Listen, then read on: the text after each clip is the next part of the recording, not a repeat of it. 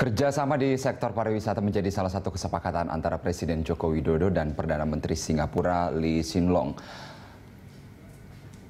Kerjasama itu meliputi pengoperasian wisata kapal pesiar, pembangunan dermaga kapal pesiar, dan peningkatan investasi infrastruktur pariwisata. Presiden menekankan destinasi baru terus dikembangkan, termasuk Ten New Bali, yakni 10 destinasi wisata prioritas.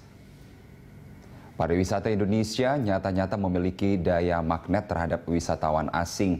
Bahkan pengusaha kakap di industri penerbangan Tony Fernandes pun melihat potensi ini dan bersiap menggairahkan sektor pariwisata Indonesia dengan menambah direct flight utamanya di 10 destinasi wisata prioritas itu.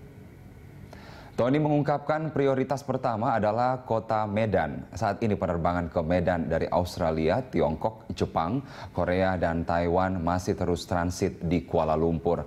Penerbangan langsung dari lima negara itu menuju Medan merupakan komitmen Tony untuk mempromosikan Danau Toba, satu dari sepuluh Bali baru yang tengah dikembangkan oleh pemerintah Indonesia.